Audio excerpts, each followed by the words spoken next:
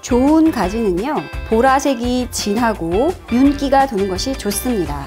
또한 상처가 없고 꼭지 부분이 싱싱한 것이 좋습니다. 가지를 세척해 볼 건데요. 가지가 잠길 만큼 물을 부어주세요. 베이킹소다를 한 큰술 정도를 넣어서 가볍게 풀어주세요. 여기에 가지를 넣어주세요. 가지가 뜨니까 접시나 무거운 걸 이용하셔서 잠길 수 있도록 올려주세요. 가지의 수용 속 색소가 빠져나올 수가 있으니까요. 단시간만 담가주시는 게 좋습니다. 자, 가지는 흐르는 물에 씻어주세요.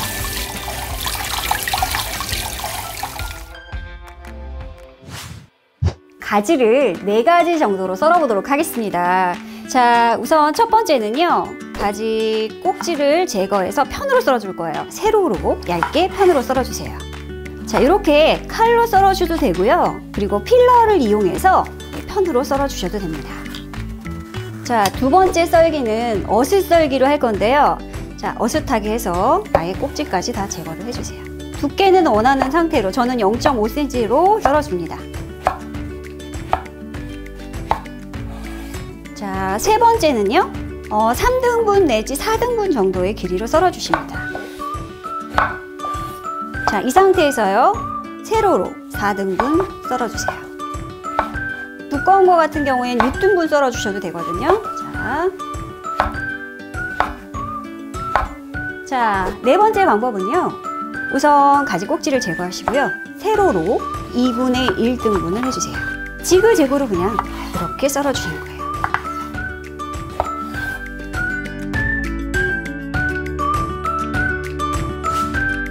가지를 보관하는 방법은요. 우선 종이 호일이나 일반 종이에다가 가지를 감싸주시고요.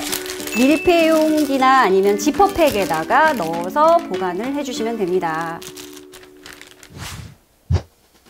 가지 손질법 중에 한 가지를 응용해서 가지말이 어린잎 샐러드를 만들어 볼 건데요. 우선 가지를 얇게 편으로 슬라이스 해주십니다. 너무 두껍게 썰면 제대로 말리지가 않으니까요. 되도록이면 얇게 썰어주세요. 필러를 이용하실 때는요. 끝부분부터 잡아당기듯이 쳐내주시는 거예요. 필러로 하시면 좀 더 얇게 슬라이스가 돼요.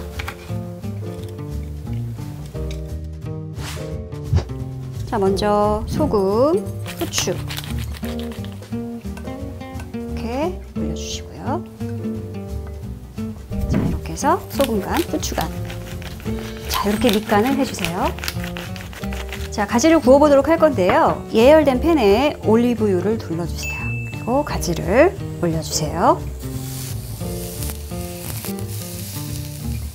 자, 가지는요, 오일과 함께 구워서 조리하는 방법이 가장 좋다고 하는데요. 바로 항산화 효과가 있는 비타민 E 섭취가 훨씬 더 좋다고 하네요. 그래서 가지를 구우실 때는 이렇게 올리브 오일이나 아니면 그냥 일반 기름, 뭐 카놀라유라든지 식용유 괜찮습니다. 그래서 이렇게 구워주세요. 네, 주의사항은 너무 기름을 많이 넣으시게 되면요. 너무 많이 흡수해버리기 때문에 너무 많이는 넣지 마시고요. 코팅되는 정도로만 구워주세요.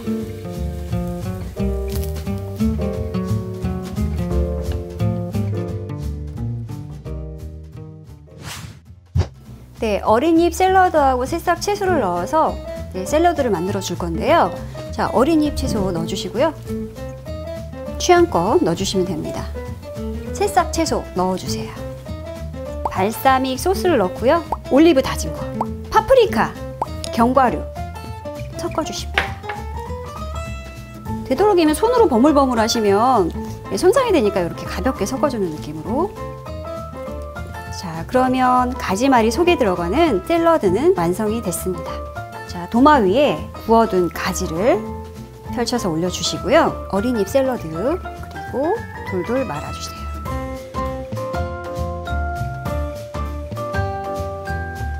이 가지말이 어린잎 샐러드는요.